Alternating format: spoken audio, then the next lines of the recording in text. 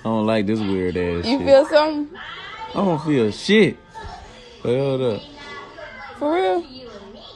You lying. Fuck no. but. Hey, what's up, mamas? Let me know when your boyfriend leaves so I can slide through.